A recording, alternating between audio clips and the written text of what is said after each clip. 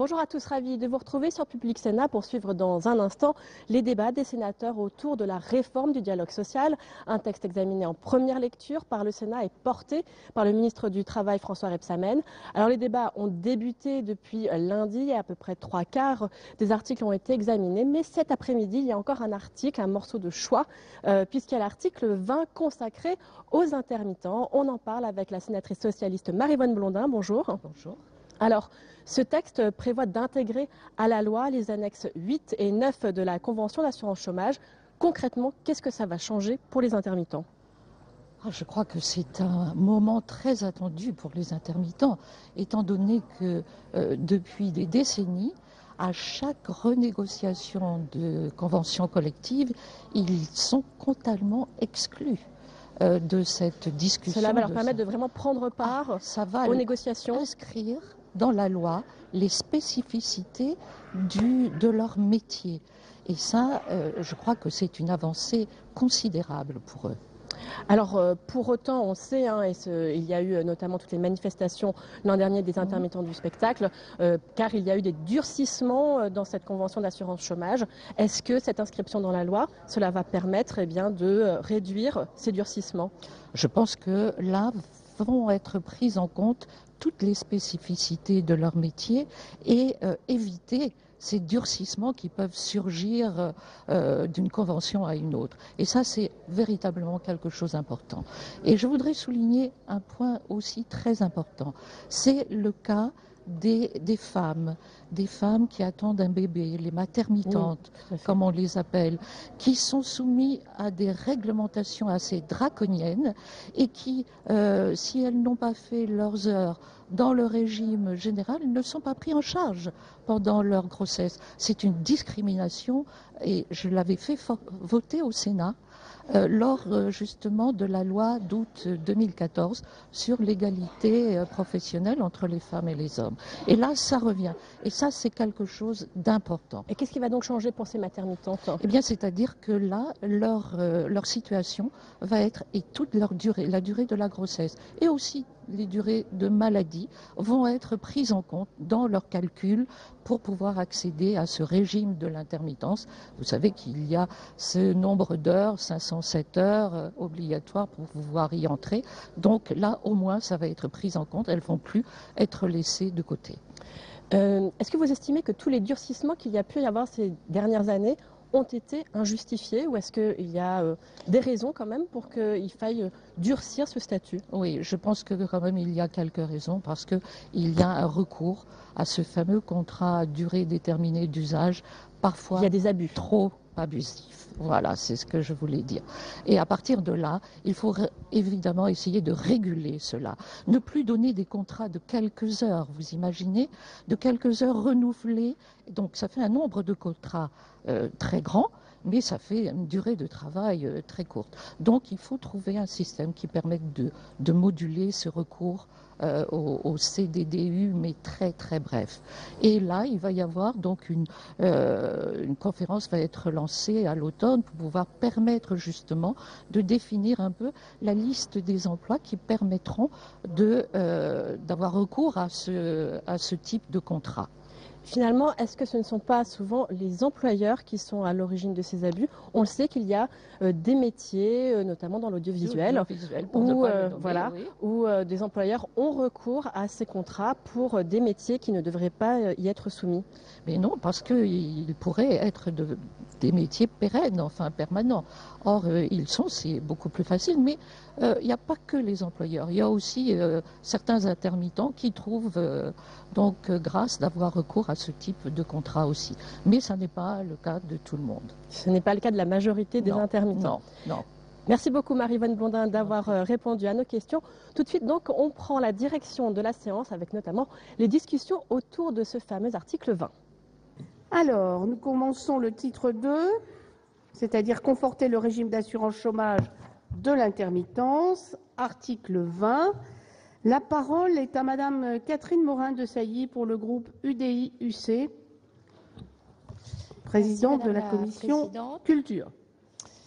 Merci Madame la Présidente, euh, Monsieur le Ministre, mes chers collègues. Les règles d'assurance chômage spécifiques aux intermittents du spectacle les fameuses annexes 8 et 10 de la Convention d'assurance chômage, constituent un sujet complexe techniquement et, on le sait, particulièrement sensible socialement.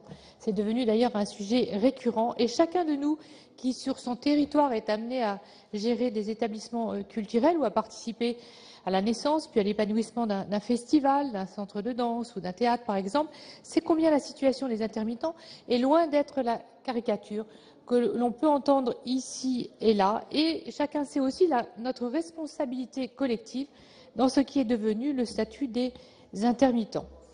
Disons-le tout net, la réforme est nécessaire parce que le déséquilibre comptable, des annexes 8 et 10 est exorbitant, 1,2 milliard d'euros pour 200 millions de recettes. Ce n'est en effet pas tenable longtemps.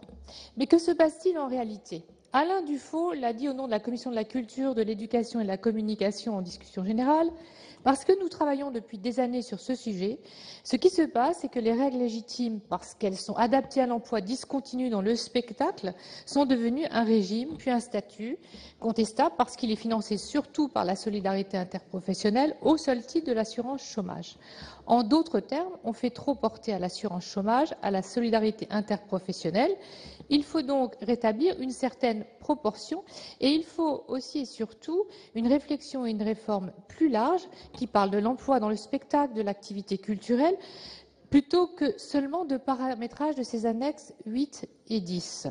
C'est précisément le travail qu'a notre commission avec euh, Marie-Vonne Blondin, qui a été rapporteure d'un groupe de travail sur le sujet. C'est aussi le travail de la mission qui a été euh, lancée il y a un an avec Jean-Patrick Gilles, Hortense Archambault et Jean-Denis Combrexel à l'Assemblée. Et ces missions ont bien identifié les pistes de réforme au-delà de la seule assurance chômage. Elles ont été d'ailleurs pour partie évaluées par un groupe d'experts reconnus. C'était une première et cela fait du bien à l'ensemble des partenaires sociaux qui sont en conflit depuis des années sur ces sujets. Cette mission de concertation propose donc une réforme plus large et cet article 20 en applique une partie décisive. C'est pourquoi notre commission de la culture a adopté une position constructive en concertation étroite avec la commission des affaires sociales. Donc je voulais dire que cet article est utile à la réforme, il en est même un gage. La reconnaissance de règles spécifiques ne fiche pas la situation actuelle, elle sécurise la prise en compte des conditions particulières d'exercice des professions du spectacle, comme nous le faisons depuis près de 50 ans. Le mécanisme de consultation est plus solide que la négociation déléguée, tout en répondant à la demande des professionnels. Le réexamen des CDDU faut espérer qu'il soit mis de l'ordre, il le faut. Enfin, la meilleure prise en compte des maternitantes est tout simplement une mesure de justice euh, sociale. Pour conclure, je voulais vous dire que, mes chers collègues, il été à l'évaluation des pistes de réforme et à la recherche concertée des meilleures solutions, pas à la caricature. Pour ces raisons, je voterai donc cet article 20 dans le texte issu des travaux de nos deux euh, commissions. Maintenant, je voulais dire que s'il importe d'organiser dans le cadre interprofessionnel de mécanismes d'assurance chômage mieux régulés, il faut aussi mettre en place des mécanismes de financement de la création du spectacle qui ne pèsent plus de manière aussi lourde sur la solidarité interprofessionnelle.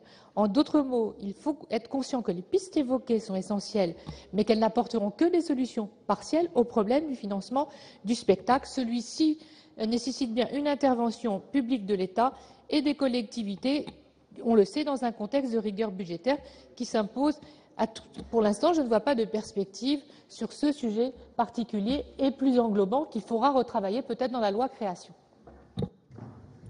Merci beaucoup, chers collègues. La parole est à Brigitte Gontier-Morin pour le groupe CRC. Merci Madame la Présidente. Monsieur le Ministre, mes chers collègues, nous abordons avec cet article 20 un sujet très important. D'ailleurs, l'insertion de cet article dans le projet de loi fait suite au conflit sur la renégociation des règles de la nouvelle convention sur l'assurance chômage en mars 2014 et plus particulièrement, cela a été dit, concernant les annexes 8 et 10 relative au régime des intermittents du spectacle. Alors que ce régime est, rappelons-le, que la juste contrepartie d'une activité professionnelle caractérisée par une précarité liée au caractère par définition temporaire des événements culturels et qu'il permet de maintenir la vitalité culturelle en France, le MEDEF en est allé jusqu'à prôner sa disparition. Les dispositions prévues n'ont heureusement pas été jusqu'à là, mais ne se sont pas euh, révélées satisfaisantes pour autant.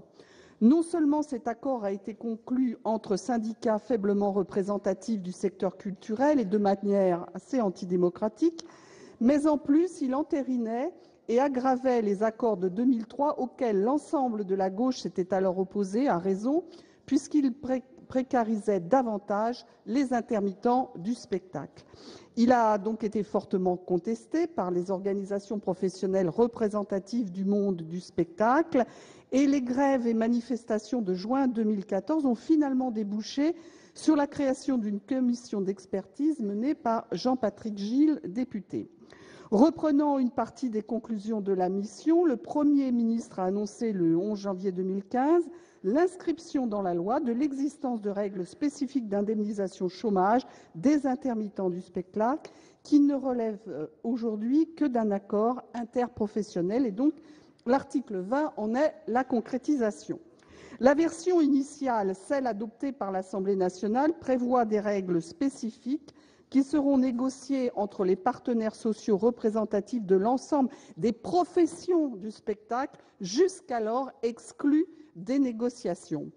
Ces règles devront néanmoins respecter le document de cadrage envoyé par les partenaires sociaux au niveau interprofessionnel, précisant les objectifs de la négociation en termes de trajectoire financière et de respect des principes applicable à l'ensemble des bénéficiaires du régime d'assurance chômage. Si l'inscription dans la loi de la participation des organisations professionnelles représentatives du monde des spectacles aux négociations et la pérennisation du principe d'un régime d'assurance maladie tenant compte des spécificités des intermittents est une chose que nous réclamons depuis 2003 et nous avions, je vous le rappelle d'ailleurs, déposé une proposition de loi en ce sens. La portée de cet article reste trop limitée puisqu'elle demeure subordonnée à la fixation d'un cadre de négociation, notamment financier, fixé par les organisations interprofessionnelles et au niveau national. Certes, l'article sécurise ce régime en empêchant sa disparition pure et simple à chaque renégociation de la convention UNEDIC. Cependant, nous regrettons que les représentants du secteur du spectacle vivant ne soient associés qu'une fois le cadre des négociations préalablement déterminé par les représentants des partenaires sociaux interprofessionnels, notamment concernant la trajectoire financière, ce qui réduit d'autant leur pouvoir de négociation. Ces conditions de négociation permettront-elles de faire enfin émerger les propositions de réformes alternatives formulées depuis plusieurs années et également réclamées dans notre proposition de loi? Permettront-elles d'envisager un retour sur la réforme de 2003 qui a aggravé la précarité des intermittents sans permettre pour autant de réaliser des économies? Pourront-elles permettre un retour d'un calcul des 507 heures à date anniversaire sur 12 mois, que préconise d'ailleurs le rapport rendu par la mission, ou encore la suppression de l'augmentation du déféré d'indemnisation. À ces questions que nous nous posons, je crois assez légitimement, les amendements de la rapporteure de la commission des affaires sociales du Sénat, adoptés en commission, ont au moins le mérite de répondre clairement en vidant l'article 20 de sa substance.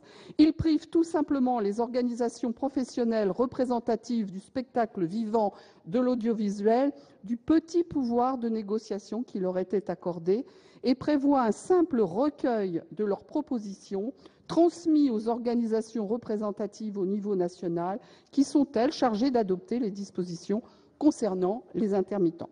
Nous avons donc, vous le verrez par la suite, déposé un certain nombre d'amendements visant à renforcer les droits des intermittents, tout en cherchant à se rapprocher de la version de l'Assemblée nationale qui, malgré ses défauts, mes chers collègues, reste quand même la plus protectrice que les propositions de la droite. Merci, chers collègues. Nous avons maintenant huit amendements qui font l'objet d'une discussion commune. Le 173 rectifié, c'est Monsieur Savary peut-être? 173 rectifié. Merci Madame la Présidente. Euh, cet amendement euh, a été euh, déposé parce qu'il semblerait que ça ne règle pas à travers ce projet de loi ce problème des intermittents, ou si ce n'est de façon tout à fait partielle. L'objet de cet amendement est notamment d'inscrire dans la loi le principe d'une négociation à double niveau et que cela pose plusieurs problèmes au regard du respect de la solidarité interprofessionnelle qui caractérise le régime d'assurance chômage. Ça nous semble une source de complexité, de lenteur par rapport au processus de négociation, une brèche dans le principe de solidarité interprofessionnelle, et c'est l'ouverture à ce que d'autres réclament la même prise en, compte. Et c'est la raison euh, pour laquelle euh, nous avons euh, souhaité, à travers cet amendement, parler de ce problème des intermittents, car il nous semble que la loi ne répond pas directement à leurs préoccupations. Merci. Euh, le suivant, numéro 276, est un amendement du gouvernement, monsieur le ministre.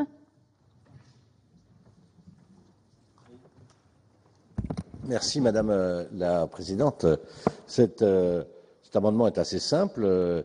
Il prévoit tout simplement de revenir au texte euh, que nous avions euh, fait adopter euh, par l'Assemblée nationale.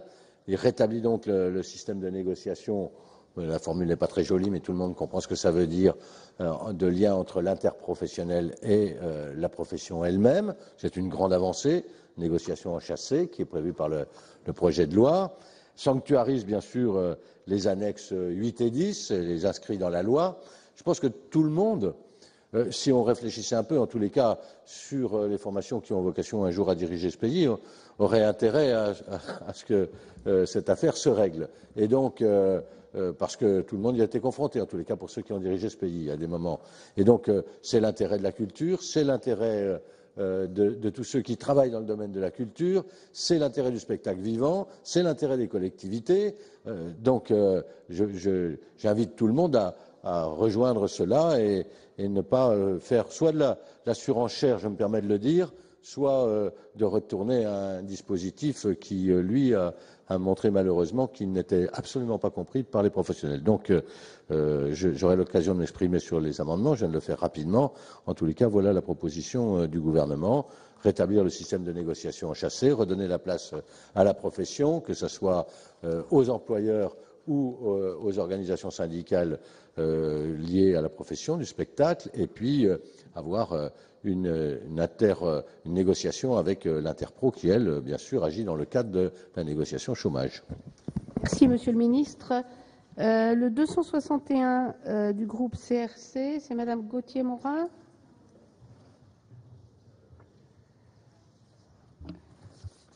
Oui, cet amendement a deux objets. Restaurer la rédaction de l'article 20 issu de l'Assemblée nationale en revenant sur les modifications de la commission des affaires sociales du Sénat qui, comme je le disais à l'instant, a complètement vidé les alinéas 7 et 10 et deux, renforcer le pouvoir de négociation accordé aux partenaires sociaux représentatifs de l'ensemble de la production cinématographique, de l'audiovisuel et du spectacle concernant les annexes 8 et 10. Cet article constitue une avancée en cela qu'il pérennise l'existence d'un système d'indemnisation chômage spécifique aux intermittents du spectacle. Il inscrit son existence dans la loi tout en les maintenant au cœur du régime de solidarité interprofessionnelle.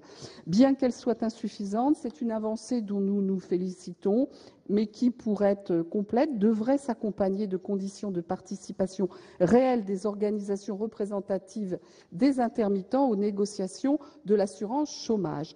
La version de l'Assemblée prévoit en effet l'association des organisations professionnelles d'employeurs et les organisations syndicales de salariés représentatives des intermittents du spectacle aux négociations sur le chômage et sur les annexes qui les concernent. Néanmoins, le Gouvernement limite leur rôle précisant qu'il revient aux organisations d'employeurs et de salariés représentatifs de l'ensemble des professions, au niveau national et interprofessionnel, de fixer un cadre financier et une trajectoire globale qui s'imposent aux représentants des professionnels relevant du régime de l'intermittence.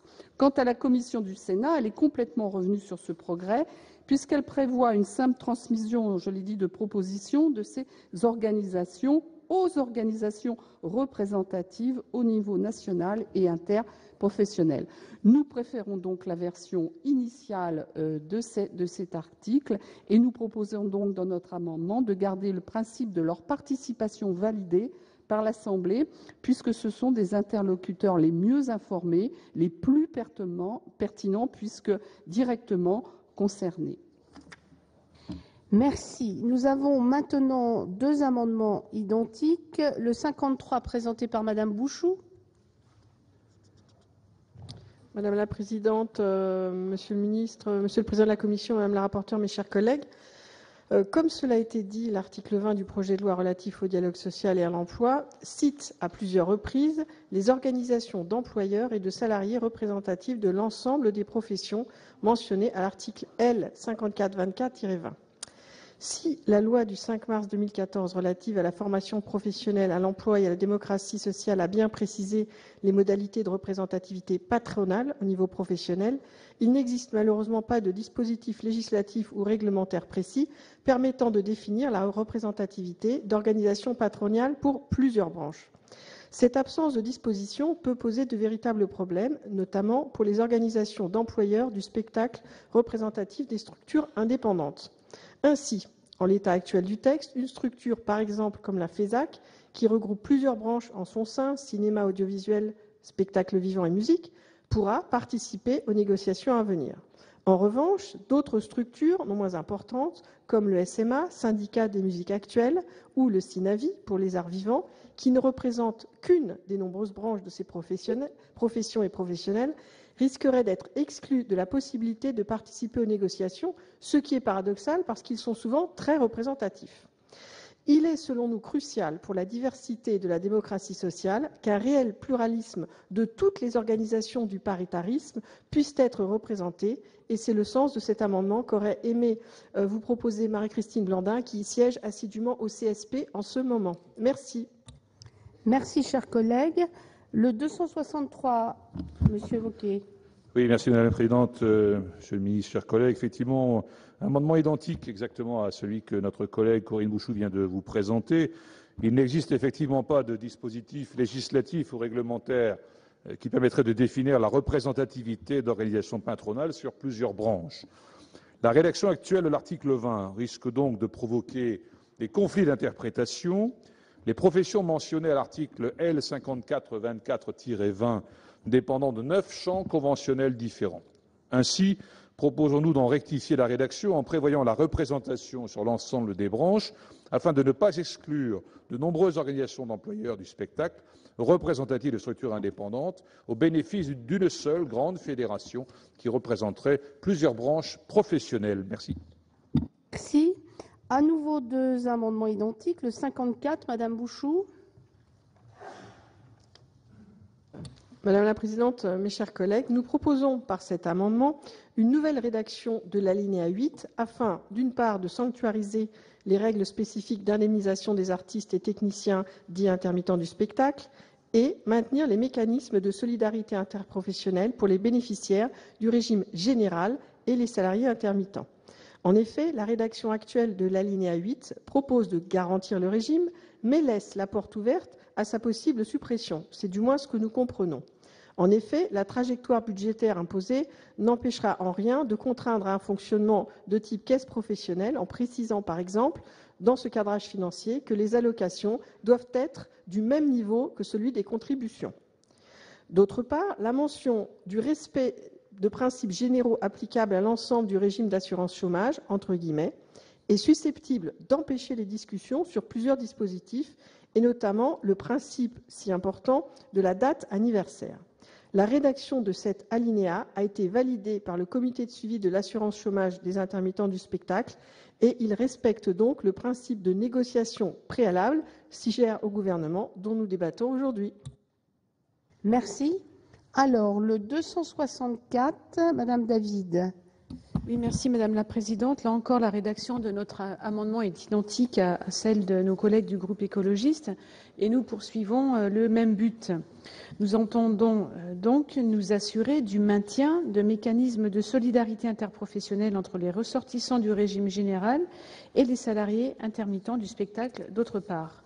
L'ambition de cette loi est de pérenniser les, annexes 8 et 10, autrement dit d'empêcher la suppression des règles spécifiques d'indemnisation des intermittents du spectacle. Pourtant, le cadrage budgétaire imposé par l'échelon interprofessionnel n'empêche en rien que soit imposé un fonctionnement de type caisse professionnelle. Il suffit pour cela que le cadrage financier précise que les allocations sont du même niveau que les contributions. Cette menace d'une caisse autonome, synonyme d'exclusion du régime d'assurance chômage et de sa logique de solidarité interprofessionnelle, doit être écartée. Notre proposition d'amendement entend ainsi, comme vient de le dire Corinne Bouchou, réellement sanctuariser les droits actuels et d'éviter que les annexes 8 et 10 puissent être vidées de leur contenu, empêcher par là même un fonctionnement de caisse autonome afférent aux seuls intermittents, rappeler enfin le principe de solidarité interprofessionnelle des intermittents et des autres salariés. Si un effort est demandé à tous, les intermittents du spectacle doivent y contribuer à la même hauteur que les autres salariés et inversement. Mais il est exclu, au nom du principe de solidarité interprofessionnelle, que le maintien ou l'amélioration des droits des uns soit financé par le recul des droits des autres. Tel est l'objectif de cet amendement.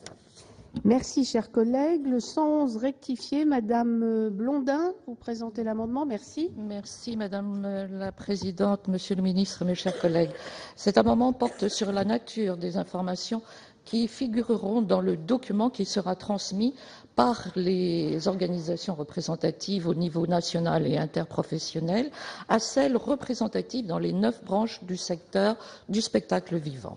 Le projet de loi initial, qui ne fixait pas de euh, phase de concertation d'information du secteur du euh, spectacle vivant préalablement aux négociations interpro, avait néanmoins prévu l'envoi aux organisations représentatives de ce secteur d'un document de cadrage de cette négociation. Le fait d'établir, en vertu du texte proposé par Madame la rapporteure et adopté par la Commission des affaires sociales, une phase d'information préalable ne devrait pas avoir d'incidence sur la nature des données contenues dans le rapport de cadrage adressé aux organisations représentatives du spectacle vivant. Ce document doit préciser comme prévu dans le texte de projet de loi initial, les objectifs de la négociation interprofessionnelle. Il ne s'agit donc en aucun cas d'une concertation, mais bien d'une négociation. Si dans l'esprit de la commission des affaires sociales, l'objet du document de, cadrage devrait être modifié pour refléter les échanges entre organismes du secteur du spectacle vivant et organismes représentatifs au niveau euh, national et interprofessionnel, il s'agit là d'une phase d'information et non de concertation. Donc, euh, c'est pour cela que nous avons déposé cet amendement rédactionnel qui tend à substituer le mot concertation au mot concertation celui de négociation. L'état de la négociation constituera en effet le sujet rapporté dans le document de cadrage aux représentations de branches du spectacle vivant. Merci beaucoup. Madame le rapporteur, l'avis sur tous ces amendements?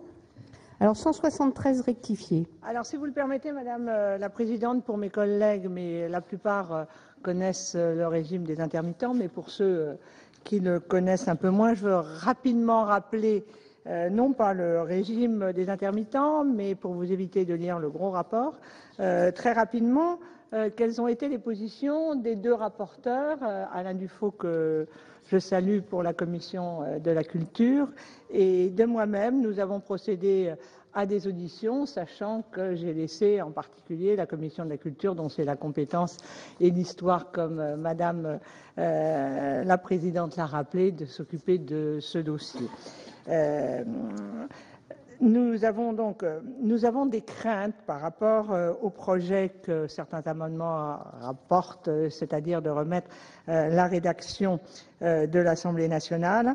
en particulier, nous n'y avons pas touché, nous avons laissé des annexes euh, dans le projet de loi et dans la loi, mais nous avons des incertitudes juridiques et nous avons des inquiétudes pour qu'à l'avenir, euh, les, autres professions qui bénéficient d'une des onze annexes du régime général d'indemnisation du chômage demandent la même chose. Il n'y a aucune raison que les intermittents du spectacle demande et que les VRP, les journalistes, euh, les personnels navigants de l'aviation civile, les bûcherons, tâcherons, et je ne cite pas les onze professions, euh, la même revendication et je ne vois pas en quoi on pourrait leur interdire d'intégrer dans la loi cette annexe puisque l'on intègre l'annexe des intermittents du spectacle. Hum, c'est une, une de nos inquiétudes, mais nous n'y avons pas touché. Euh, dans les incertitudes juridiques, le texte ne définit pas clairement l'identité des partenaires sociaux représentatifs dans l'ensemble de la profession euh, de la production cinématographique, audiovisuelle euh, ou du spectacle qui sera chargé de négocier l'accord subsidiaire. le ministre du Travail, lors de son audition, avait indiqué que les mesures de représentativité étaient en cours de finalisation et que la négociation reposerait sur le principe d'une reconnaissance réciproque des organisations, notamment patronales. Euh, j'ai tendance à considérer que les critères de représentativité doivent être impérativement définis avant le lancement de la négociation, euh, faute de quoi elle risque d'être vouée à l'échec. Et si j'ai bien entendu sur tous les rangs, euh, ce que personne ne veut, c'est que ces négociations aillent à l'échec. Euh, deuxième point important, le texte ne précise pas le régime juridique de l'accord subsidiaire euh, et le texte est muet sur l'autorité qui sera chargée d'examiner le respect euh, par l'accord du document de cadrage. En définitive, et dans nos auditions, beaucoup ont considéré que la probabilité d'aboutir à un accord subsidiaire était faible, mais que les risques encourus par la réglementation d'assurance chômage du fait de ces incertitudes juridiques entourant la négociation subsidiaire sont élevés. C'est pourquoi votre commission, euh, notre commission des affaires sociales et la commission euh, des affaires euh, culturelles ont proposé de recueillir en amont de l'ouverture de la négociation et avant sa conclusion les propositions des organisations patronales et syndicales représentatives dans l'ensemble des professions de la production. Je ne cite pas toutes les productions euh, des intermittents du spectacle. Euh, nous avons conservé le comité d'expertise dans sa rédaction issue de l'Assemblée nationale, car cette structure est de nature à améliorer la transparence et la sincérité du débat. Euh, je suis également favorable à l'obligation faite aux partenaires sociaux représentatifs dans l'ensemble des professions de la production cinématographique, audiovisuelle et spectacle de négocier pour mettre à jour les listes d'emplois relevant euh, de leur secteur et qui peuvent bénéficier des CDDU. Euh, donc voilà rapidement résumé le contenu de cet article que nous avons adopté en commission et qui justifie euh, que je sois plus rapide sur euh, les explications euh, des amendements. L'amendement 173 présenté par mon collègue René-Paul Savary est en partie et même très largement satisfait par le texte de la Commission.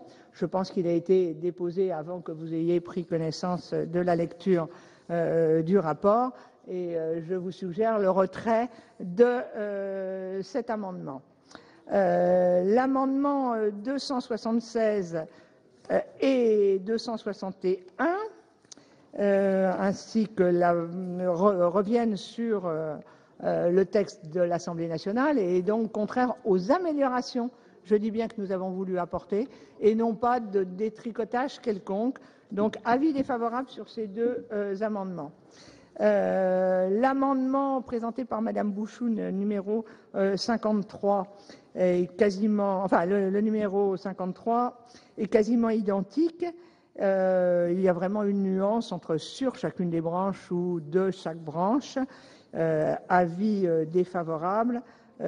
Comme avis défavorable quasiment identique, Monsieur Boquet, de l'amendement que vous avez présenté. L'amendement 54 et le 111. Nous avions en commission des affaires sociales émis un avis favorable sous réserve d'une modification rédactionnelle que je n'ai pas vu apporter.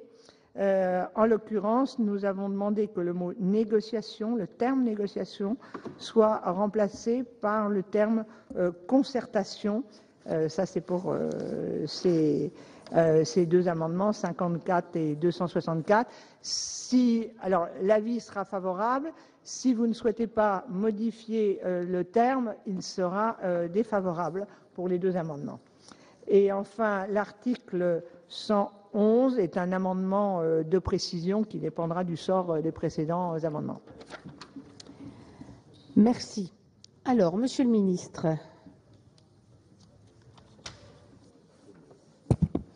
Merci, Madame la Présidente. Bon, j'ai présenté ce qu'il en était pour la démarche du, du, gouvernement. Je, je dois dire euh, parce que après je ne ferai pas des explications euh, euh, aussi détaillées pour chaque amendement, que cette démarche s'appuie sur un rapport qui a été remis, établi par, là on peut le dire, trois personnalités très qualifiées, puisqu'il s'agit d'une personnalité du spectacle, Madame Archambault, d'une personnalité reconnue du monde du travail, euh, du droit du travail, puisqu'il s'appelle Jean-Denis Combrexel, et puis de celui qui porte euh, le dossier des intermittents à l'Assemblée nationale depuis fort longtemps, Jean-Patrick Gilles. Et donc, euh, c'est sous l'impulsion de Jean-Patrick Gilles que cette concertation a été menée, une vaste concertation, une concertation avec les organisations interprofessionnelles, mais également avec euh, l'ensemble des euh, professionnels, des représentants de la profession, que ce soit les organisations syndicales ou les organisations patronales.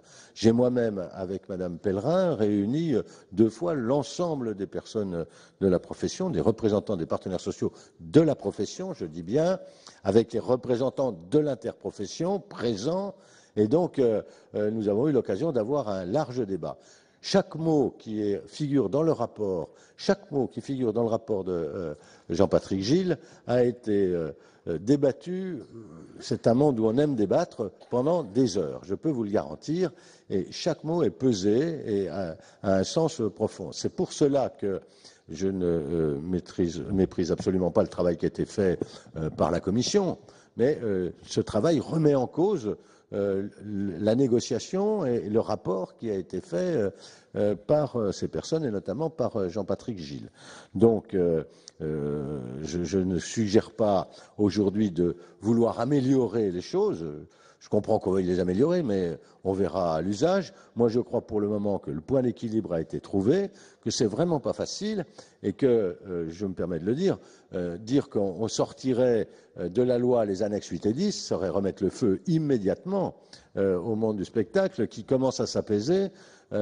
voilà. Pourquoi est-ce que le, les annexes 8 et 10, ce n'est pas les autres. Bah, parce qu'il y a une spécificité culturelle dans ce pays, bien évidemment. Le monde du spectacle, la culture, c'est quelque chose qui est une exception. Et euh, la France peut s'en enorgueillir euh, à chaque fois euh, de défendre cette exception culturelle tant dans notre pays, la vitalité, et également au niveau européen dans les négociations.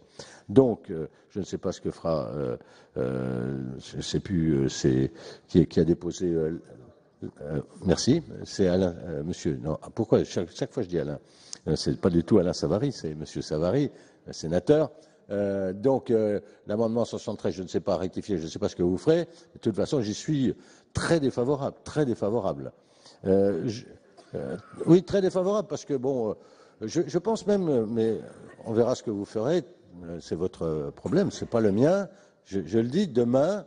Si vous dites il n'y a plus d'annexe 8 et 10 dans la loi, bah, demain, euh, ça redémarre. Or, euh, euh, même s'il faut, et ça a été dit fort justement, repréciser le CDDU parce qu'effectivement, il y a des abus en la matière et la profession en est conscient. La profession est en train de travailler en ce moment même, d'ailleurs, avec les, rapporteurs sur les métiers qui peuvent rentrer dedans euh, dans le CDDU, comment ils sont euh, exploités des fois ou utilisés par euh, des sociétés qui n'ont pas les métiers, etc. Donc voilà. Donc tout ça, vraiment très fin, un bon travail qui a été fait, qui a ramené le calme, oui, qui, donne de l'espoir et de l'espérance plutôt à, cette profession. Donc, je le dis aussi à nos collègues du groupe communiste, tout ce qui va dans l'autre sens, à contrario, en renforçant le pouvoir euh, des partenaires sociaux au niveau professionnel, je comprends très bien, hein, euh, va, déséquilibrer euh, le point d'équilibre qui, avait été, trouvé. Et donc, j'y suis défavorable. Le pouvoir de négociation des partenaires sociaux se fait dans le cadre de, de ce qui est fixé par l'interprofession par les partenaires sociaux de l'interprofession dans le cadre de la négociation de l'assurance chômage. C'est ce qu'on appelle justement la négociation en chassé. Donc, avis défavorable. J'en comprends bien évidemment le sens, mais l'avis est défavorable. Euh, je dis euh, euh, la même chose à Mme Bouchou sur l'amendement 53. J'étais en train de regarder. toutes ces remarques sont justes, mais le point d'équilibre est tel que je ne suggère pas d'y apporter réponse à deux négociations différentes. Elles se complètent. L'interprofession qui gère euh, l'assurance chômage, et puis la profession qui gère et l'utilisation du CDDU et aussi euh, euh, qui, rentre dans le cadre qui est fixé par l'interprofession. Pas toujours facile, mais c'est la solution qui a été proposée et qui pour le moment prévaut. Dire que ce sont, alors c'est l'article 263, que ce sont les organisations syndicales et patronales représentatives de chacune des branches qui participent à la négociation euh, professionnelle sur le régime d'assurance chômage pour les intermittents, et non les organisations syndicales et patronales représentatives. Non, on ne peut pas non plus dire ça, et donc euh, euh, le gouvernement souhaite que soient réunies autour de la table de négociation les organisations représentatives de l'ensemble des branches concernées, de l'ensemble des branches concernées. C'est assez compliqué, je, connais bien le sujet, mais c'est comme ça. Euh, assurer le respect du principe de solidarité interprofessionnelle, euh, bon, c'est des principes généraux. Vous pourriez le retirer, je crois, parce que c'est le 54. Il est, à mon avis, euh, satisfait par le rétablissement du texte qui vient de l'Assemblée. Sur quel numéro 54 On est bien d'accord. Hein? le 54, oui. Voilà. Euh, le 54. Alors, je vais prendre ma liste. Je réponds euh, plus justement. Après euh, le 54, j'ai donc le 264. Oui, merci. Donc, assurer le respect du principe de solidarité interprofessionnelle. J'ai la même réponse que pour le 54. je suppose qu'il est, enfin, je pense qu'avec le texte de l'Assemblée, il est satisfait. Donc, je propose de le retirer. Et il en va de même du 111, euh, euh, puisqu'il faut remplacer, vous proposez de remplacer le mot concertation par le mot négociation. Je disais, je vois très bien la différence légère de sens, mais euh, je me tiens au, mot qui était sorti du texte de l'Assemblée. Et je pense qu'il y avait concertation et pas négociation. ça demande vérification. En tous les cas, revenons, ou c'est l'inverse, revenons au texte de l'Assemblée si vous en êtes d'accord. c'est un point d'équilibre et donc, euh, voilà ce, que je veux dire. J'interviendrai moins longuement sur les autres amendements, mais je voulais donner la position du gouvernement. Équilibre, équilibre euh, important, euh, équilibre essentiel pour le monde du spectacle, pour tous ceux qui participent au spectacle, notamment au spectacle vivant, garantie et enfin, je veux dire, un monde culturel apaisé, c'est ce que nous souhaitons. Merci, Monsieur le Ministre. Je vais poser une question à Madame Bouchou et à Madame David si elles souhaitent euh, modifier euh, leur amendement comme le rapporteur de la commission l'avait euh, suggéré ou pas. C'est pour préparer ensuite. alors, si c'est le prix pour que l'amendement soit adopté, euh, moi, je veux bien le faire, mais on n'est quand même pas des perdreaux de l'année entre négociation et concertation. Je pense que les gens ici, aux trois quarts, ont participé à des travaux de ce type. Donc, ça laissera la possibilité à mes collègues de maintenir l'autre texte sur lequel euh, on pourra voter euh, le cas échéant, si ça vous va, justement. Donc, je veux bien faire la modification, mais uniquement pour le mien. Ce qui nous voilà. Mais cela étant, c'est pas la même chose. Donc, si c'est le prix de l'acceptation, c'est pas la même chose. Il faut que ce soit marqué au procès verbal. Voilà. Donc, le 54 est rectifié et ils ne sont plus identiques. On est bien d'accord C'est ça, Madame David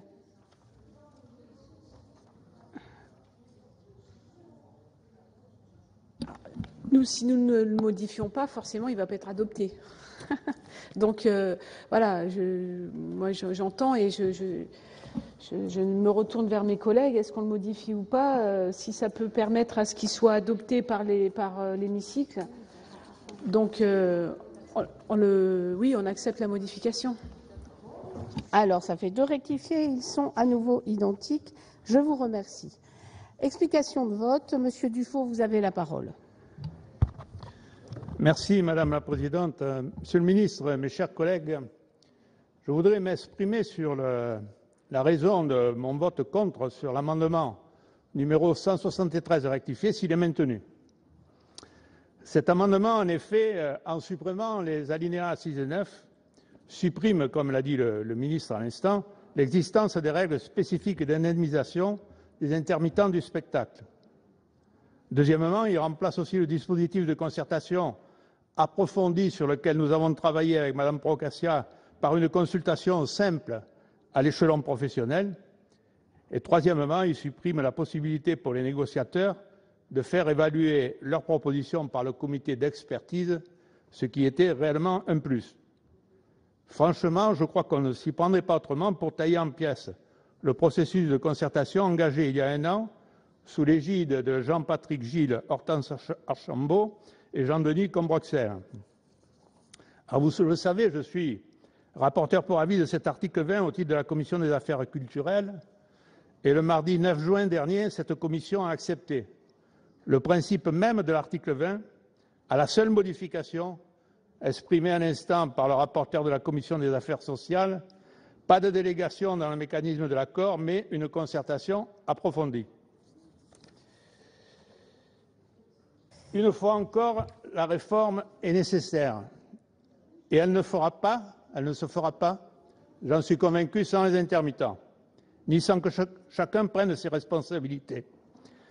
Premièrement, la reconnaissance de règles spécifiques, et je voudrais corriger ce qui a été dit par certains d'entre vous, à mon sens, ne sanctuarise pas les règles actuelles. C'est très important de le dire et de le préciser, mais valide le fait que les conditions d'exercice des professions du spectacle sont particulières et qu'en conséquence, des règles particulières sont légitimes dans le cadre de la solidarité interprofessionnelle, comme c'est le cas pour l'emploi intérimaire. Cette reconnaissance ne dessaisit pas les partenaires interprofessionnels. Elle confirme un principe qui est appliqué depuis 50 ans, depuis le Front populaire exactement, et nous le faisons pour consolider la négociation, assurer que cette négociation aura lieu dans les meilleures conditions plutôt qu'entre deux portes ou à la fin de la nuit, comme ça a souvent été le cas. Et si on veut enlever le premier point, tout l'équilibre du texte et de l'article 20 est cassé.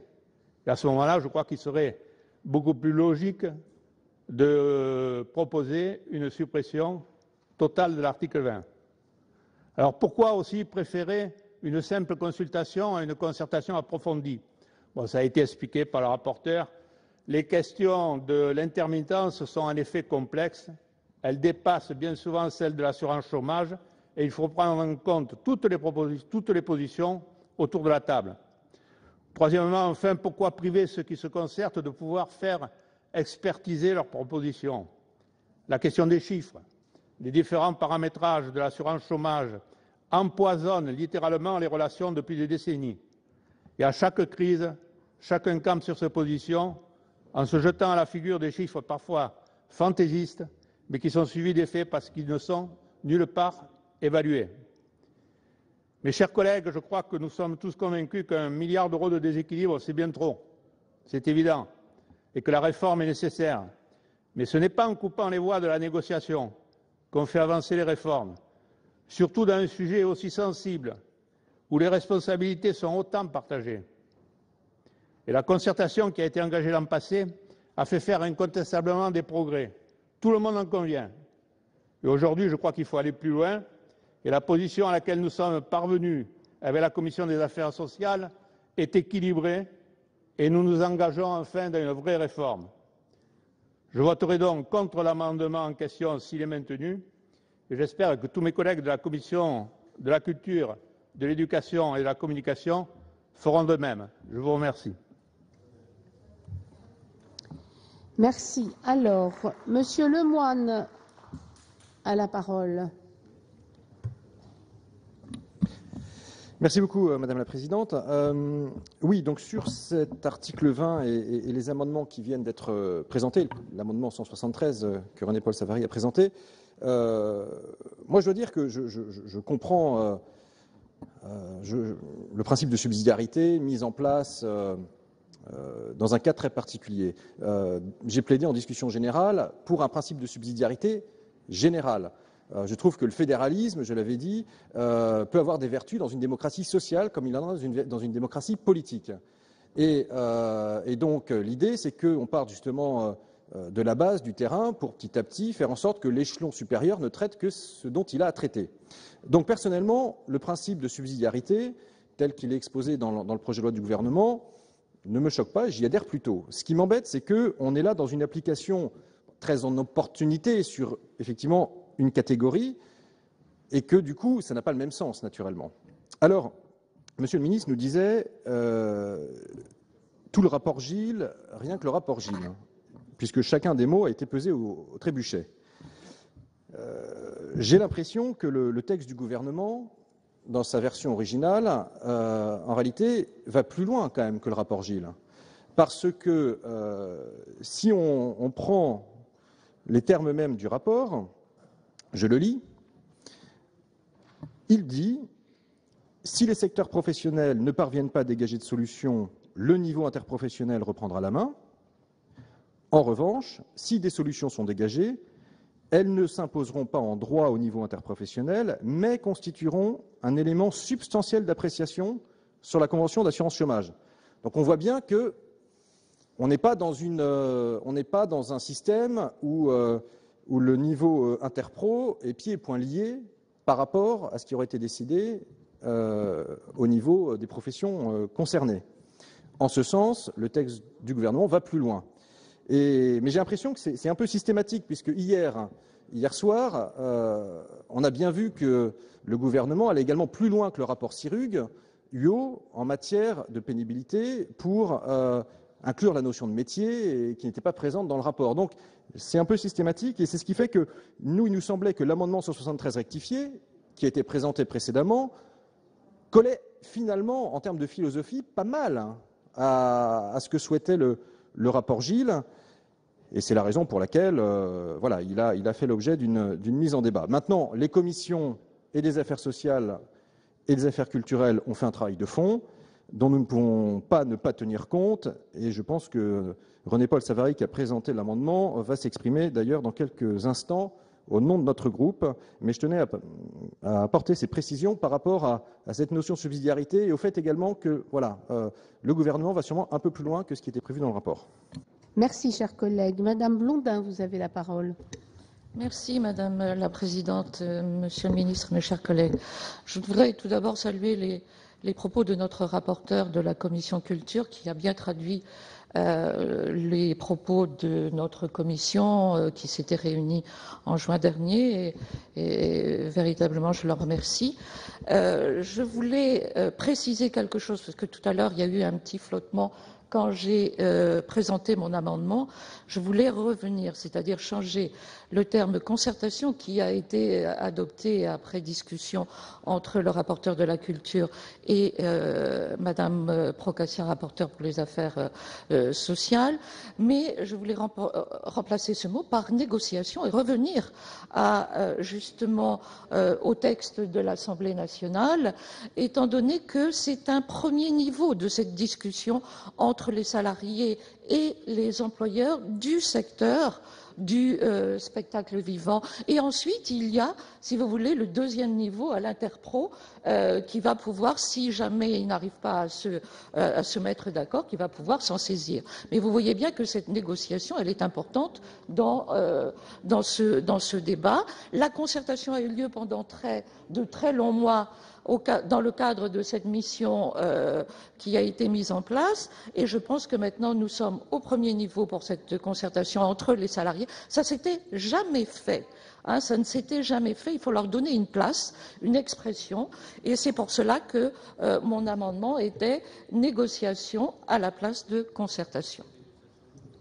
Merci, chers collègues. Donc, nous allons passer aux voix. Je vais peut-être donner tout de suite la parole à M. Savary pour savoir s'il maintient ou retire son amendement 173 rectifié.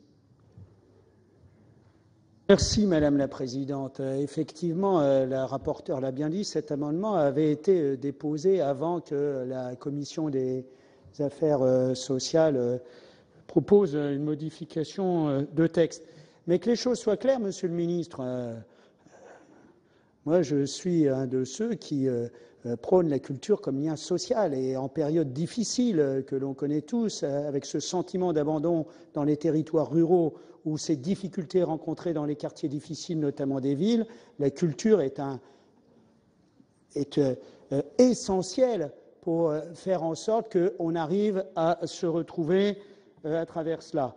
loin de moi l'idée également de ne pas consolider les liens de concertation qui ont pu être faits et faire en sorte que les festivals qui ont commencé dès à présent cette année se passent dans de bonnes conditions. Donc je suis de ceux qui disent qu'il faut effectivement trouver une solution ça ne me paraissait pas la meilleure solution parce que tout n'est pas clarifié à travers cela.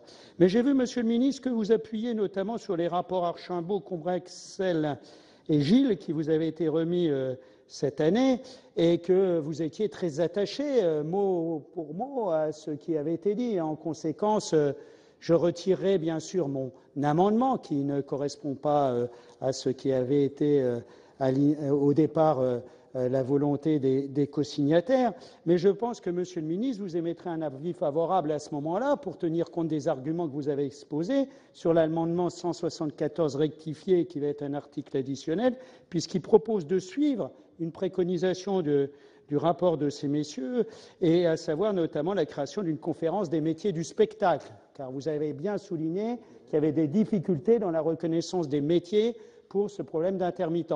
Donc je crois qu'effectivement, là, il y a un lien qui peut être intéressant de façon à clarifier correctement les préoccupations de cette profession. Donc je retire mon amendement, Madame la Présidente. Merci. Bien. Alors je vais passer à l'amendement du gouvernement euh, qui a reçu un avis défavorable de la Commission. Est-ce que quelqu'un souhaite faire une explication de vote? Madame Morin de Sailly. Oui, j'ai peut-être réagi un peu trop tard. Je voulais juste dire un petit mot sur l'amendement qui a été fort heureusement retiré par nos, collègues euh, sur euh, ce point central en fait à l'article 20 euh, c'est important de, prendre conscience, comme je l'ai dit tout à l'heure euh, rapidement en introduction sur le titre de ce projet de loi, c'est que nous sommes co-responsables du système de l'intermittence, mes chers collègues. Nous sommes des élus locaux qui euh, à gérer des établissements culturels, des, des, festivals. Donc nous avons très largement recours aux intermittents. Donc ça veut dire quoi? Ça veut dire qu'au-delà de la solidarité interprofessionnelle qui convient euh, donc de réaffirmer, il faut ensemble travailler euh, au financement du spectacle vivant. Et je renvoie aussi à la responsabilité de l'État parce que régler la question de l'intermittence ne suffira pas. Il faudra se pencher dans les mois qui vont venir euh, rapidement et, les semaines même à la question du financement public du spectacle vivant. Quand on songe aux baisses drastiques du budget de la culture sur le spectacle vivant précisément ces deux, trois dernières années, plus les baisses de dotation aux collectivités territoriales qui menacent encore plus l'emploi artistique, je crois qu'il faut se poser aussi les bonnes questions et trouver des mécanismes nouveaux de financement du spectacle vivant à côté du statut euh, des intermittents sur lequel il faut aussi travailler, le réformer pour pouvoir lui donner une viabilité et une pérennité. Donc je voulais renvoyer aussi le gouvernement à ses responsabilités sur ce sujet du financement du spectacle vivant. Madame la Présidente. Je vais mettre aux voix l'amendement du Gouvernement. Je rappelle qu'il y a un avis défavorable de la Commission. Qui est pour?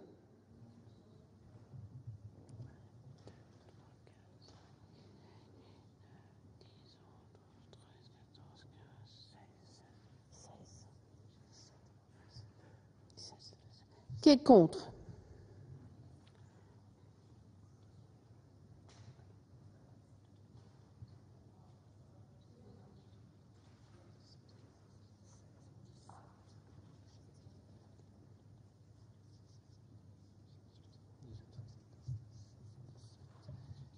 17.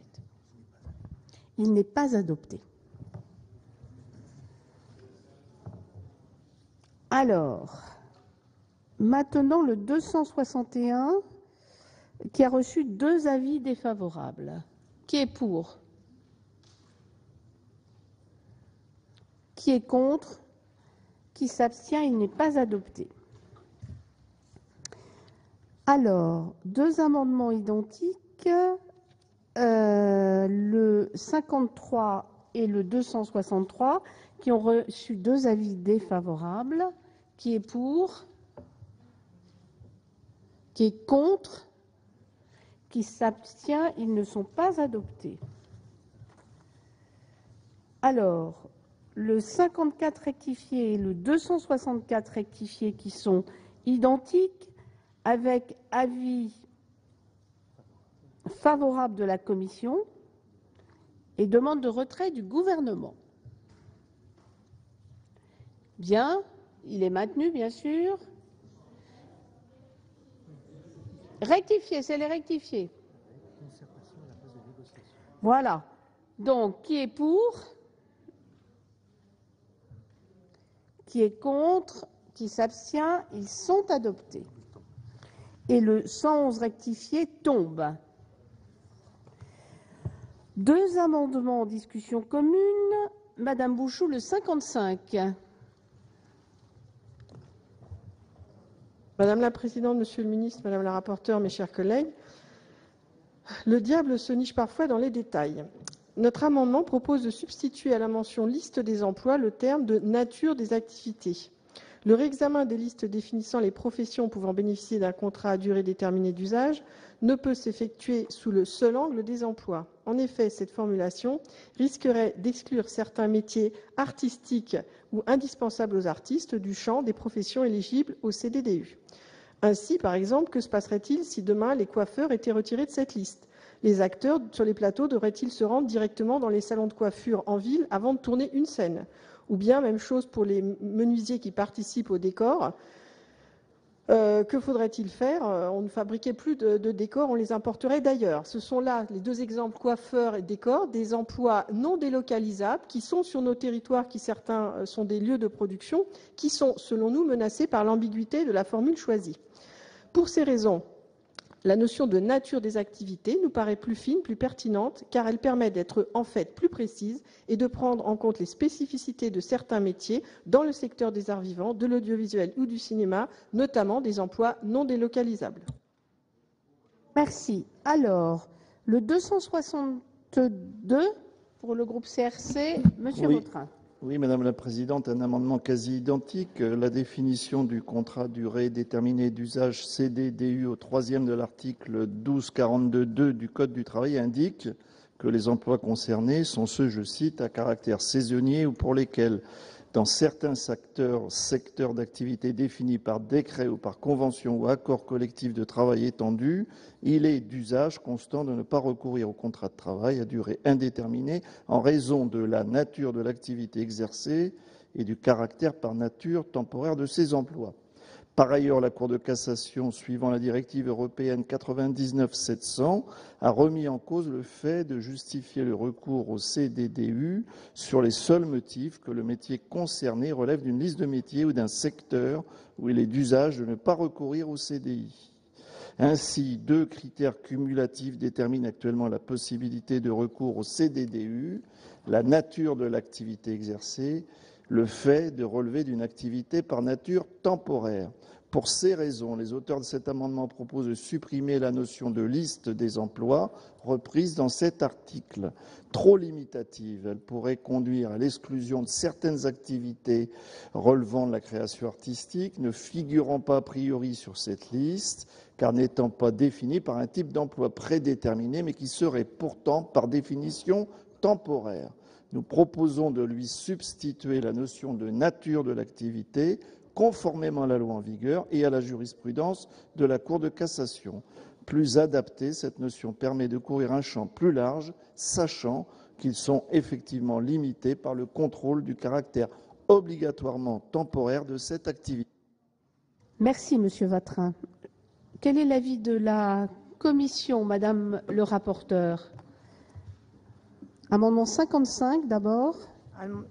En fait, mon, mon avis va porter sur les deux amendements. de, présenté par Madame Bouchou et par Monsieur Vatrin, puisque les commentaires sont les mêmes. L'article 1242 du Code du travail définit les CDD d'usage comme des contrats pour lesquels il est d'usage constant de ne pas recourir à un contrat de travail à durée indéterminée en raison de la nature de l'activité exercée et du caractère par nature temporaire de ces emplois. Et c'est un décret ou une convention ou un accord collectif du travail étendu qui définit euh, les secteurs d'activité éligibles au euh, CDD d'usage. C'est pourquoi il me paraît que la formulation qui est retenue dans le projet de loi me semble conforme euh, aux dispositions du Code du travail, mais comme vous avez été deux sur deux groupes à poser la même problématique, je demande l'avis du Gouvernement pour ces deux amendements et par rapport à cette analyse. Je vous remercie, Madame le rapporteur. Quel est l'avis donc du Gouvernement sur ces deux amendements Monsieur le ministre? Merci, euh, Madame la Présidente. Je vais, demander euh, à Madame Bouchou et à Monsieur Vatrin, c'est le même, euh, le même amendement, de, de, le retirer. Sinon, je mettrai un avis défavorable, parce que actuellement, les partenaires sociaux sont en train de réexaminer au, au, plus près, les partenaires sociaux de la profession sont en train de réexaminer au plus près les listes d'emplois euh, qui sont aujourd'hui définis par convention ou accord euh, collectif. Et donc, la loi prévoit que seuls les emplois, ça a été dit par nature temporaire, sont éligibles bien sûr au CDDU, mais quant au secteur d'activité éligible, le Code du travail mentionne bien déjà les spectacles, l'action culturelle, l'audiovisuel, la production cinématographique et l'édition phonographique. En outre, un amendement qui a été adopté prévoit que les partenaires sociaux du spectacle devront négocier ah, je ne l'avais pas dit tout à l'heure à M. Lemoine, mais euh, j'indique que Jean-Patrick Gilles, il, a participé de la modification lui-même de son rapport, hein, puisqu'il a voté le texte qui a été adopté à l'Assemblée nationale. Donc, euh, les partenaires sociaux du spectacle devront négocier avant, on leur a donné jusqu'au 30 juin 2016, pour euh, les conditions de recours au CDDU. Et donc, il y aura bien deux négociations, je dis bien, il y aura deux négociations, l'une sur la liste des métiers et l'autre sur les conditions de recours, y compris la nature des activités tout un travail très fin de peignage qui est en train d'être fait, enfin que j'ai lancé il y a une quinzaine de jours et sur lequel euh, les partenaires sociaux euh, se sont penchés. Donc retrait ou avis défavorable. Je vous remercie, Monsieur le ministre. Madame Bouchou, est-ce que vous maintenez votre amendement? Bah, écoutez, on est dans le dialogue social, donc où il faut de la confiance. Moi, je suis très tentée de faire confiance à Monsieur le ministre, mais il y a de toute façon le procès verbal de la séance. Et donc, euh, je voudrais vraiment, je réinsiste là-dessus, insister sur des emplois qui, par définition, ne sont pas délocalisables. Euh, et donc, nous alertons sur ce point et donc nous serons extrêmement vigilants. Donc, je veux bien le retirer, mais euh, on sera très vigilants. Monsieur Vatrin. Ah, bien sûr, on prend acte de ce que vient de nous dire Monsieur le ministre, comme quoi il y a des, des négociations en cours entre les partenaires sociaux. Cela dit, euh, notre amendement posait un problème juridique qui n'a pas trouvé réponse. C'est pour, la raison pour laquelle nous maintenons cet amendement. Bien, je vais mettre aux voix donc euh, l'amendement 262 présenté par Monsieur Vatrin avec euh, un avis défavorable donc du gouvernement qui est pour, qui est contre, qui s'abstient, il n'est pas adopté. Le 265 pour le groupe CRC, je ne sais pas qui le présente. Ah, je vous en prie. Il s'agit d'un amendement qui est dans la continuité du, précédent et j'ai peur qu'il se voit réserver le, même sort. Nous voulons ici dénoncer le recours abusif au CDDU par des entreprises du monde du spectacle et appeler à la requalification des contrats de ceux qu'il est aujourd'hui euh, convenu d'appeler les permittents. Ces intermittents du spectacle qui, notamment dans le secteur individuel, audiovisuel, sont constamment renouvelés et occupent en réalité des missions pérennes relevant euh, de l'emploi en CDI. Ces permittants se retrouvent dans une situation précaire et inconfortable puisque privés de CDI, qui, au-delà d'une absence de visibilité sur leur avenir, constitue aujourd'hui une condition d'accès à d'autres éléments euh, fondamentaux plutôt compromis euh, tels que par exemple le logement. Nous proposons donc avec cet amendement d'ouvrir une négociation sur les conditions de recours au CDDU avant le réexamen des listes d'emplois mentionnées aux alinéas précédents pouvant être pourvus par ce type de contrat. Euh, avis de la commission, madame euh, le rapporteur, pour le 265. Il nous paraît que cet amendement est satisfait par l'alinéa 18 que nous avons euh, réécrit et simplifié en commission. Donc, je vous demanderai le retrait, sinon avis défavorable. Monsieur le ministre, même position. Alors, est-ce que vous maintenez votre amendement, madame gontier Vous le maintenez? Retiré. Merci. Euh, le 266, je vous en prie, Monsieur Bocquet. Oui, Madame la Présidente. Euh, amendement qui a trait à la thématique du portage salarial, qui est une relation de travail triangulaire qui fait intervenir une entreprise de portage, un salarié porté et une entreprise cliente.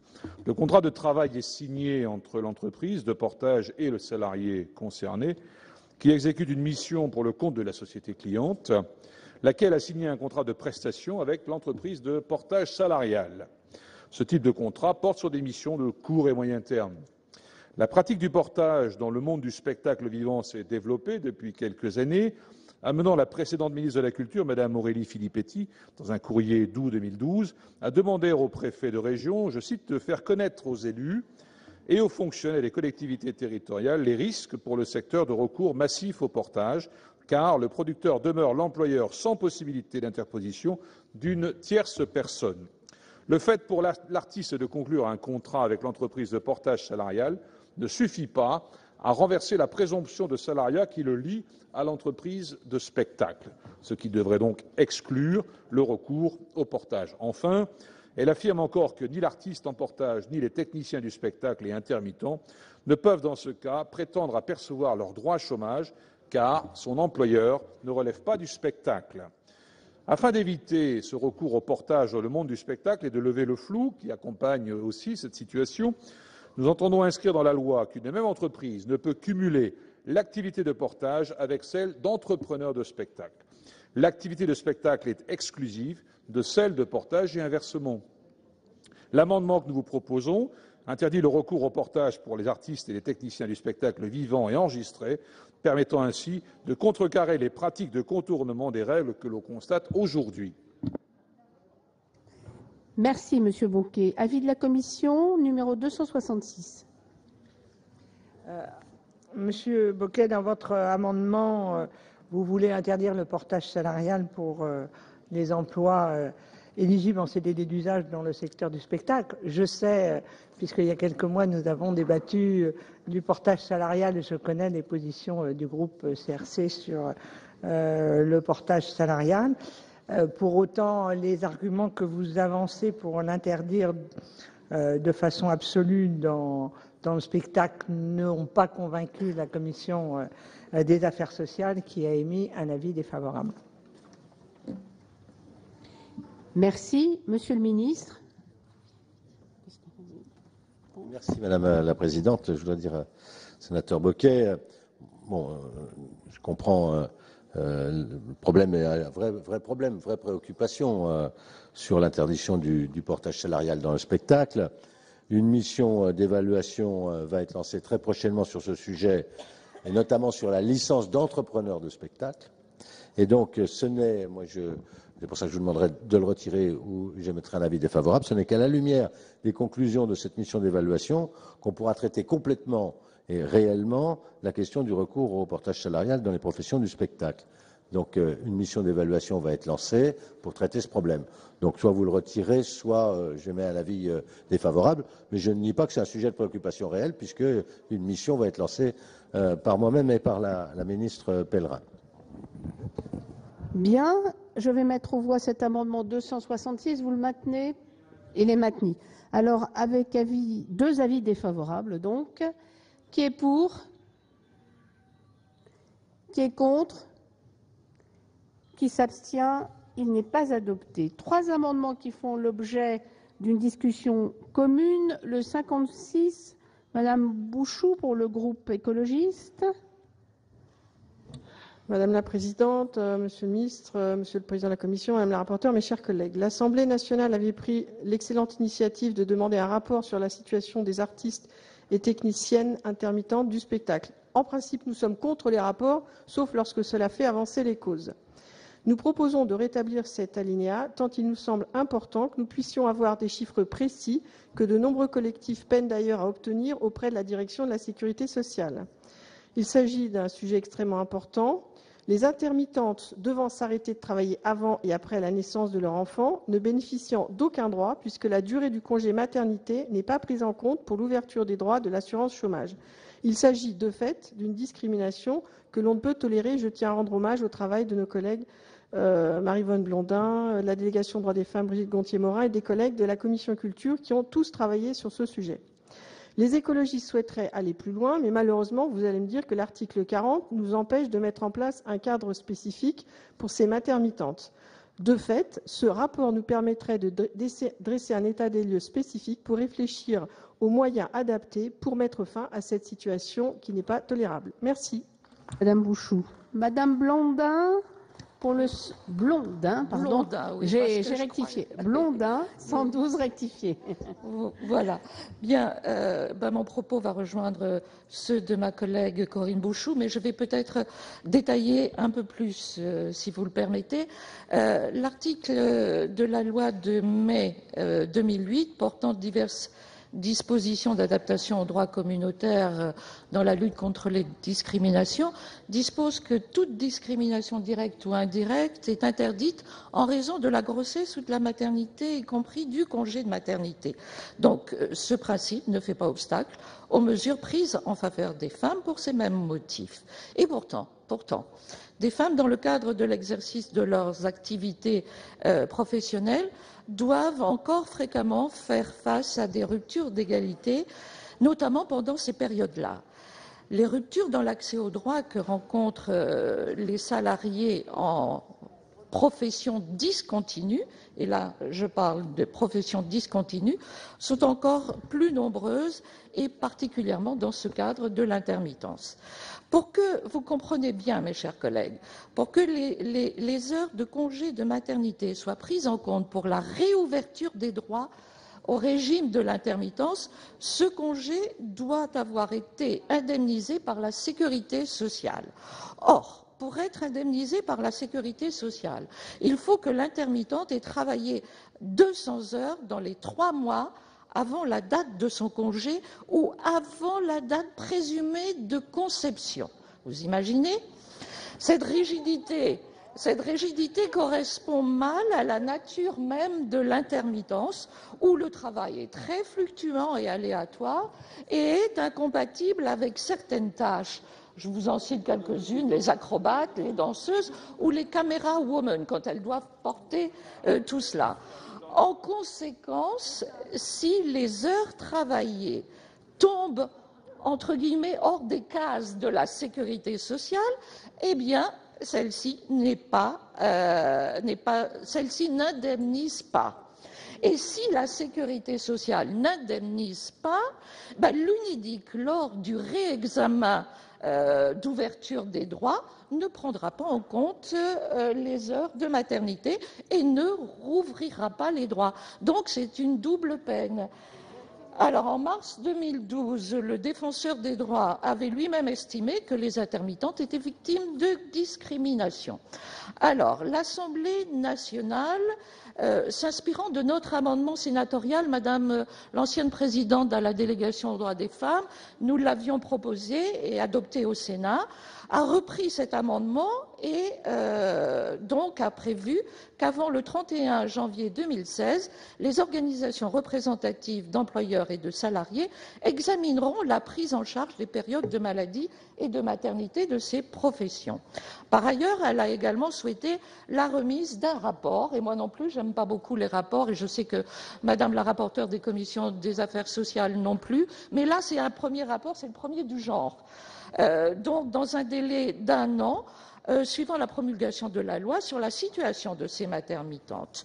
Donc, notre amendement vise à réintroduire la remise d'un rapport gouvernemental au Parlement sur cette situation et deux, précautions valent mieux qu'une.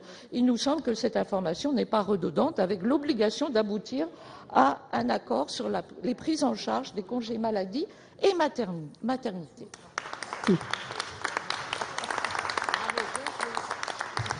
Donc, Madame Gontier-Morin, vous avez un amendement identique, hein, si j'ai bien compris. Oui, Madame euh, la Présidente, donc de façon très brève, je vais joindre ma voix pour soutenir euh, la revendication que viennent d'avancer euh, mes collègues. C'est urgent parce que ça fait de nombreux mois que nous alertons sur cette situation. C'est pourquoi je crois que ce rapport qui était prévu à l'Assemblée nationale est très utile. Il est utile pour nous informer, mais il est utile parce que nous devons régler enfin cette situation des femmes intermittentes et les conditions de leur accès aux prestations maladie maternité, d'assurance chômage, mais ainsi que les répercussions sur leur évolution de carrière professionnelle.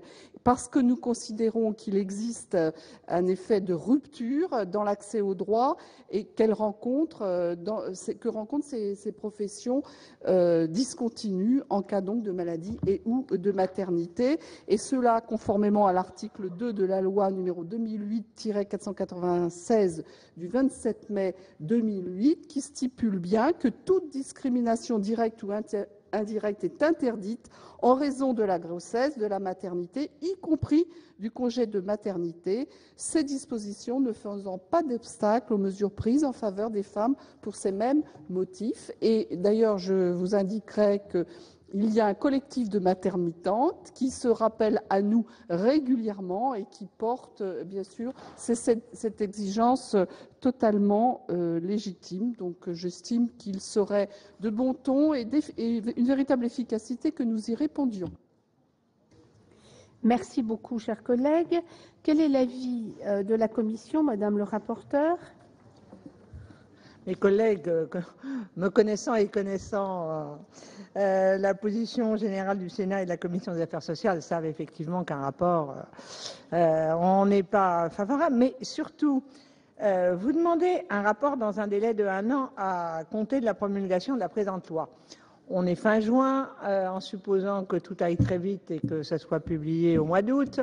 Euh, ça veut dire que c'est pour le 2 août 2016. Or, il est prévu dans le texte de loi qu'avant le 31 janvier 2016, les organisations représentatives d'employeurs de salariés mentionnées à l'article du Code du travail examinent l'évolution de la prise en compte des périodes de maladie et de maternité des salariés de ces professions.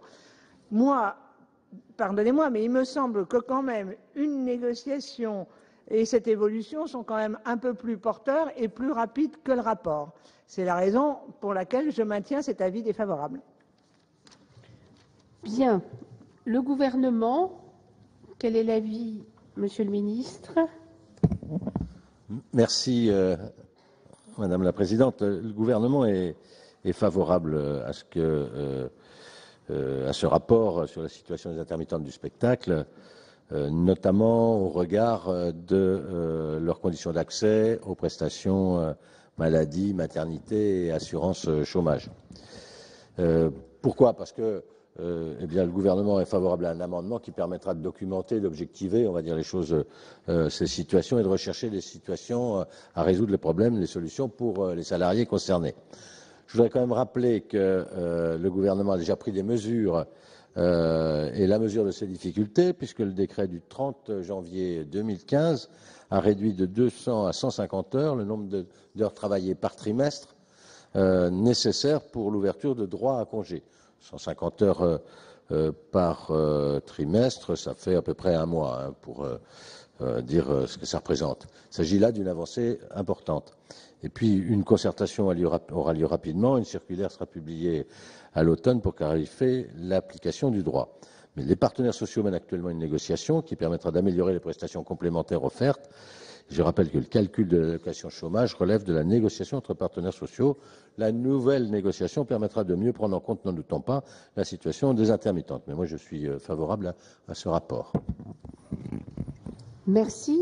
Alors, explication de vote, Madame Blondin.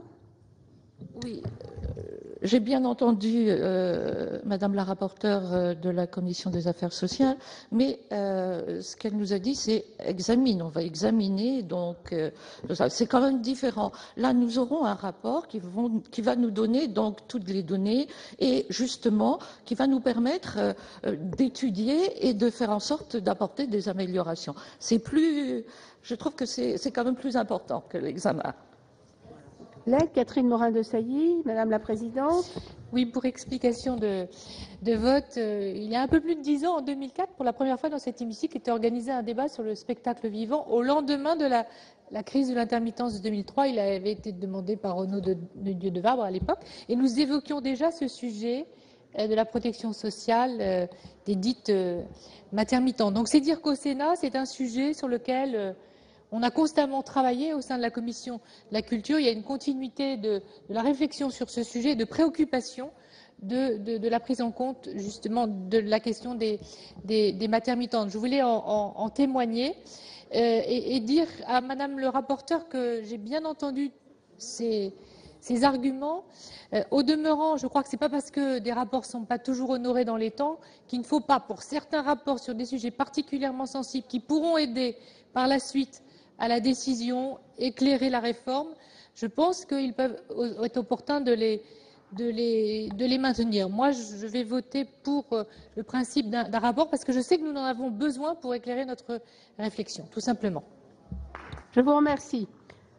Je vais mettre euh, aux voix l'amendement euh, de Madame Bouchou, numéro 56, qui a reçu l'avis défavorable de la Commission et favorable du Gouvernement. Qui est pour?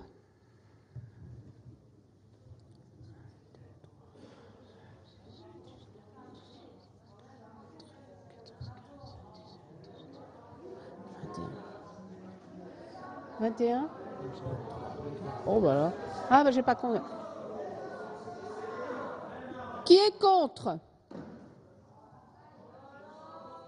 Qui s'abstient? L'amendement de Madame Bouchou est adopté et les autres sont satisfaits. Voilà pour les discussions des sénateurs autour de cet article 20, article qui inscrit dans la loi les fameuses annexes 8 et 10 de la Convention d'assurance chômage. Je vous le rappelle, les discussions des sénateurs autour de la réforme du dialogue social ont débuté lundi. Environ les trois quarts des articles ont déjà été examinés. Les discussions devraient donc se poursuivre jusqu'à ce soir. La semaine prochaine, mardi, se tiendra le vote solennel sur ce texte. Vous pouvez toujours voir et revoir toutes les séances sur notre site publicsénat.fr. Prochain rendez-vous de l'actualité parlementaire à 18h. Nous reviendrons sur cette réforme du dialogue social avec notamment l'article 19 bis consacré au burn-out. Très bonne journée sur les chaînes parlementaires.